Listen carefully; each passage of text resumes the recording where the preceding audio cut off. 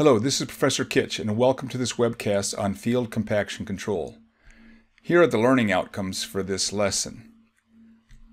This presentation will concentrate on the outcomes outlined in red. The other outcomes were either covered in previous lessons or you will accomplish them during your problem sets or laboratory experiences. First, let's review the Proctor compaction test. When we've completed a compaction test, we'll have generated a plot of the dry unit weight as a function of compaction moisture content. A typical plot will have the shape shown here, with dry density starting low at a low moisture content, increasing as the moisture content increases to a peak value, and then decreasing again with increased moisture content. We'll assume this particular curve came from a test following the modified Proctor procedures that is ASTM standard D1557.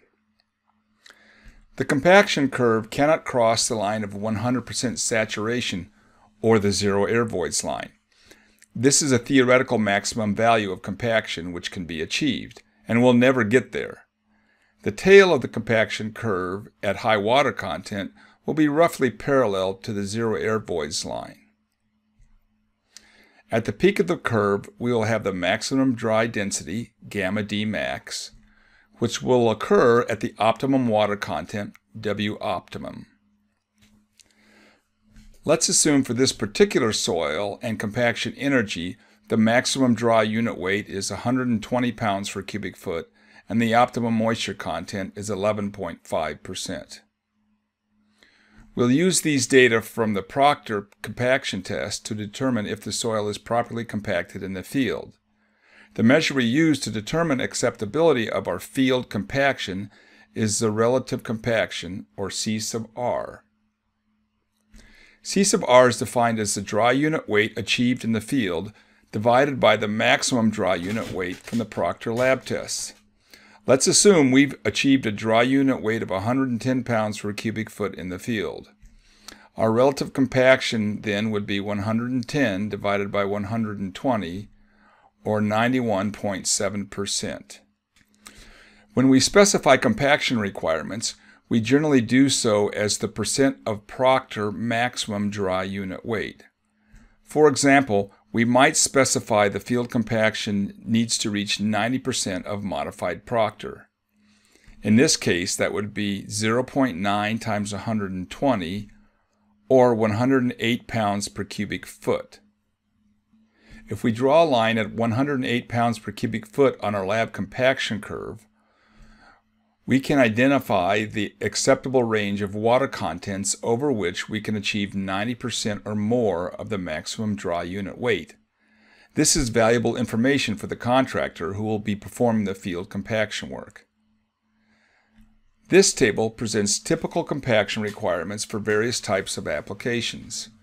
Notice that for applications where low compressibility and high strength are critical, such as below building foundations, we can specify compaction requirements in excess of 100% modified Proctor. This means that in the field, the contractor would have to use more compaction energy than is used in the modified Proctor test.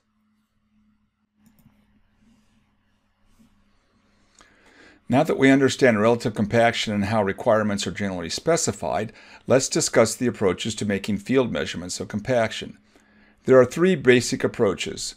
The first is to directly measure the total unit weight and moisture content after the soil has been compacted in the field. With these measurements, we can compute the dry unit weight and compare it to the dry unit weight required by the appropriate specification. A second method is to measure how much nuclear radiation is transmitted through the soil.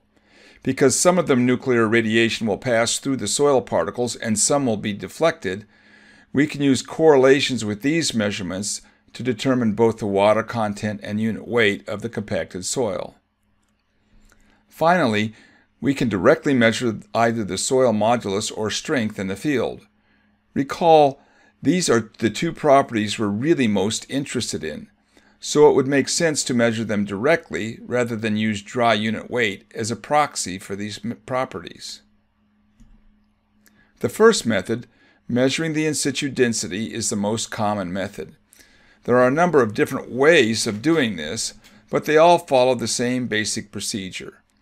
First, we create a hole in the, compacted soil at the ground surface and collect all the soil from the hole in a container. Once we've collected the soil, it's relatively easy to measure the weight of the soil collected from the hole and to determine its water content. Then we must find a way to measure the volume of the hole itself. We'll discuss a number of ways of doing that. Once we know the volume of the hole, the weight of the soil it contained, and its moisture content, we can compute both the total and dry unit weight of the soil after it was compacted. There are three common methods for measuring the volume of the hole from which our soil sample is taken. The most straightforward of these is the drive cylinder test. This method requires a hollow steel cylinder with a driving head attached and some way to drive it into the ground. The process is quite simple. We place the empty cylinder at the ground surface and pound it fully into the ground using the mallet. We then extract the cylinder. If the soil all remains in the cylinder, it's a straightforward process to determine the unit weight. The volume of the sample is equal to the volume of the inside of the cylinder. If we measure the unit weight of the soil inside the cylinder and measure its moisture content, then we can compute both the total and dry unit weights of the soil. Although this method is straightforward, it has a number of shortcomings. First, it can be difficult to drive the cylinder into this compacted soil, particularly if the soil contains gravel. During the process of driving, the soil can become even more compacted inside the cylinder. And it can be hard to keep the cylinder completely full of soil when removing it from the ground. For these reasons, this is actually not a very accurate method for determining the in situ unit weight, and it's not often used to monitor compaction. The second method for determining the hole volume is called the sand cone method. In this method, we have a bottle full of clean, dry sand with a known unit weight. The bottle is attached to a cone or inverted funnel and placed over the hole. We then open a valve between the bottle and the funnel and allow the sand to flow out of the bottle and into the hole. Once the sand has filled the hole, we close the valve and remove the bottle and cone assembly from the hole. We can then measure the weight of the sand left in the bottle and use that to determine the weight of the sand filling the hole. With the weight of the sand in the hole, we can compute the volume of the hole since we know the unit weight of the sand. There are a lot more details to this test, but you get the basic concept from this. We'll be doing this test during a future lab session, and you'll learn all the details then.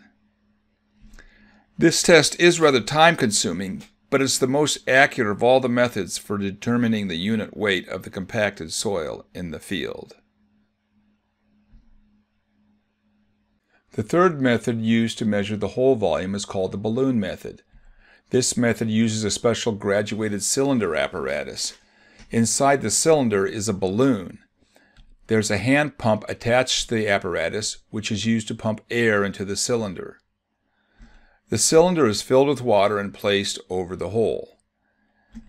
The air is then pumped into the cylinder. As the air is pumped in, it fills the balloon with water and pushes it down into the hole. Once the balloon has completely filled the hole, we can read the volume of water pushed into the hole. Now that we know the volume of the, of the hole, we can compute the, both the total volume and the dry unit weight of the soil. This method is not as accurate as the sand cone method because it's difficult to get the balloon to completely conform to the shape of the hole. This is especially true if the fill material contains larger gravel pieces. A variation on the balloon method is used when we want to measure the unit weight of fill material that consists of very large gravel or cobbles. This occurs in rock fills like the one shown in this photo. This particular rock fill is part of an earth dam being constructed. In this method, we place a large ring about a meter in diameter at the surface of the fill. In this case, a plywood ring is being used, but sometimes steel rings are used. The fill materials are excavated from the hole. This can be a long and tedious process for a rock fill such as this one. The material is weighed as it's removed. In this particular case, the material is also being sieved to determine the range of particle sizes. The hole is then lined with plastic sheeting and filled with water. The volume of the water needed to fill the hole is measured. And now it's possible to compute the unit weight of the rock fill. This particular test takes a long time. To summarize, methods used to directly compute the in situ density follow the same procedure. We create a hole in the ground where the compacted fill has been placed and collect all the material from the hole. We then weigh the material and determine its moisture content. We then measure the volume of the hole using either the drive cylinder, sand cone, or balloon method, or in the case of rock fill, we can use the water ring method. We now know the volume of the hole as well as the weight of the material in it and its moisture content. We can then use these three quantities to determine both the total and dry unit weights of the compacted fill material. Next, we're going to look at a completely different way to determine the density of a compacted fill, the nuclear densitometer. The nuclear densitometer consists of a box which contains a nuclear source. The source actually contains two different radionuclides. One emits a gamma radiation, high energy protons. Cesium-137 is usually used for this source. The second source emits fast neutrons. This source is usually made of americium-241 and beryllium, or californium-252. At the front of the device are two detectors, one for gamma radiation and one for neutron radiation. There is also a control panel which operates the device and displays the measurements. To make the measurement, the probe with the nuclear source is inserted into the ground. The radionuclides start emitting radiation. Some of the radiation passes through the soil and is detected by the sensors. Some of the radiation is scattered by the soil and water particles in the ground and does not reach the sensors. If we know the strength of the nuclear sources, we can determine how much radiation was transmitted and how much was scattered by the soil and water particles. The gamma radiation is scattered by the soil minerals. Therefore, the percent of gamma radiation reaching the gamma detector can be correlated with the dry density of the soil. The more solid material, the more scattering, and the lower the reading at the detector. The neutron radiation is scattered by the hydrogen in the water. The more water, the more scattering, and the lower the reading at the detector. The device converts gamma and neutron radiation measurements into density and moisture content readings based on the correlation data which has been entered into the device. This method is much faster than any of the previous methods we have discussed. There's no need to dig a hole in the ground, no need to take a sample or to determine the water content. You simply place the device on the ground, insert the probe, and push a button. We have decades of experience using this device to measure soil density, and it's well established in both specifications and codes. However, it is less accurate than the sand cone method. The devices are expensive and require special nuclear safety training and permits into storage. That covers all the common methods used to determine the density of soils compacted in the field. These are the most common ways we evaluate the quality of a compacted fill. We measure the in situ dry unit weight and then compare that to the Proctor maximum dry unit weight to determine the relative compaction. However, let's not forget that the material properties we really want to know about our fill are its modulus and strength. In the next section, we'll look at ways we can measure these properties rather than using dry unit weight as a proxy measurement. The Dynamic Cone Penetrometer, or DCP, is a device first developed in South Africa to determine the quality of pavement subgrade soils. It consists of a rod with a steel cone at the end. The cone is driven into the ground with a slide hammer, and a number of blows required to drive the cone a certain distance is recorded. The test looks a lot like a mini standard penetration test, except that it drives a small solid cone rather than a standard split spoon. With every drop of the hammer, the penetration distance is measured. The DCP index is the number of millimeters per blow. We can correlate this DCP index with both soil modulus and soil strength. We're not really directly measuring modulus or strength with this method, but we're using a strength-related measurement to correlate rather than using dry unit weight. The ASTM standard for this test is D6951.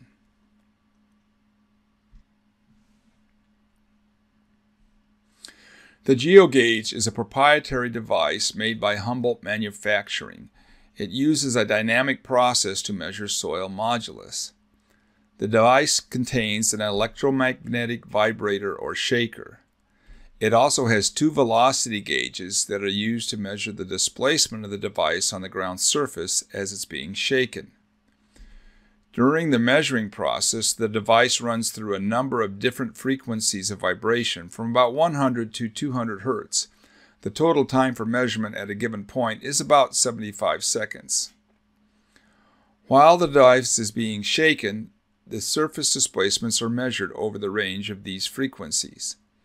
Elastic theory is then used to back calculate the soil modulus from the displacement measurements.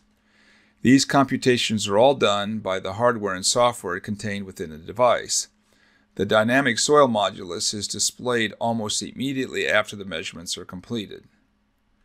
An ASTM standard has been developed for this device.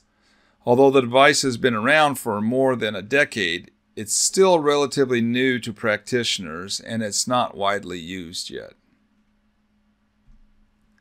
The lightweight deflectometer is another relatively new device for measuring the in situ soil modulus.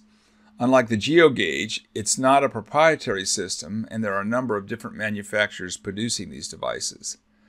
The device consists of a load plate, a sensor package that measures both force applied to the load plate and its displacement, a spring system to apply force to the load plate, and a guide rod.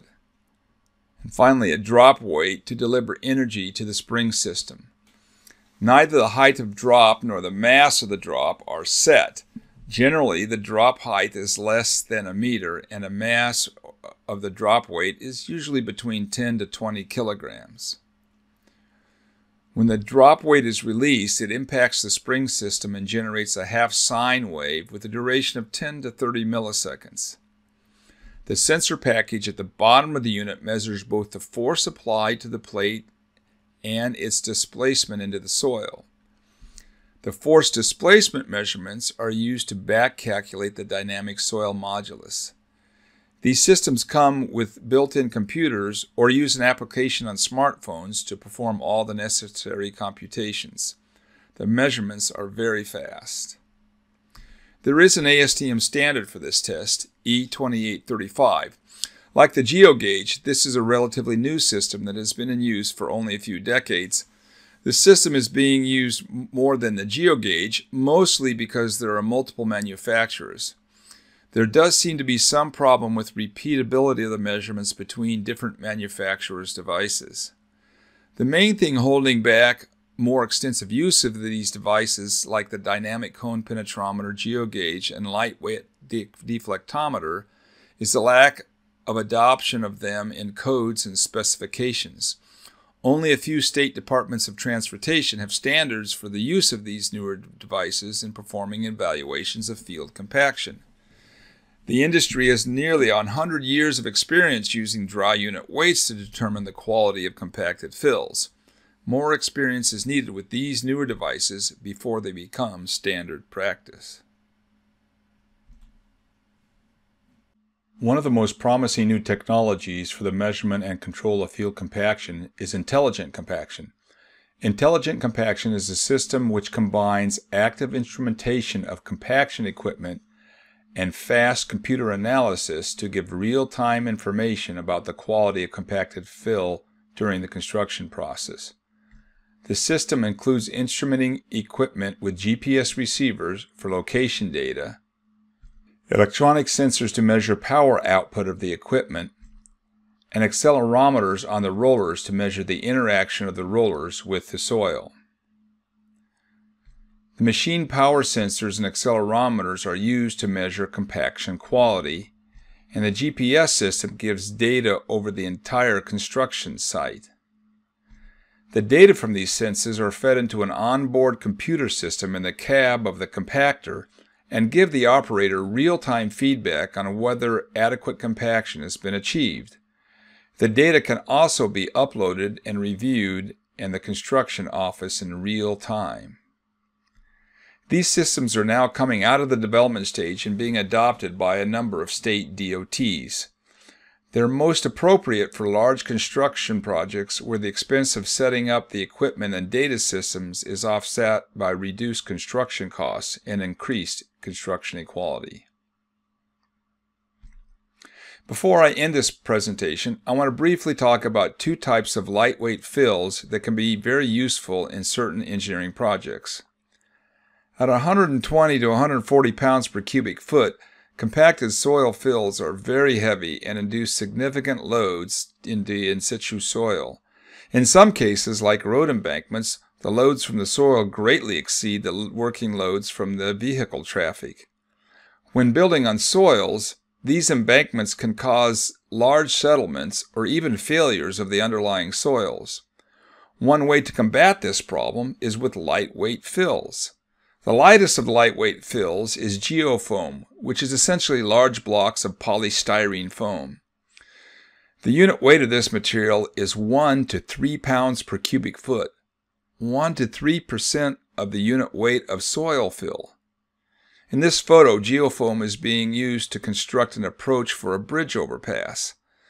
The foam will be covered with approximately a meter of soil, which will be compacted in a conventional manner.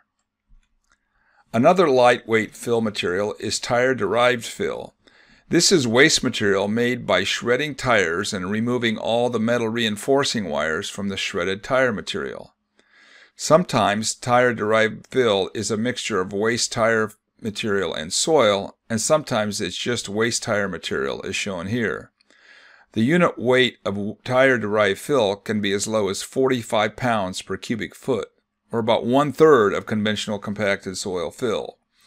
So it has the additional benefit of using a waste material and is therefore a very green construction technique.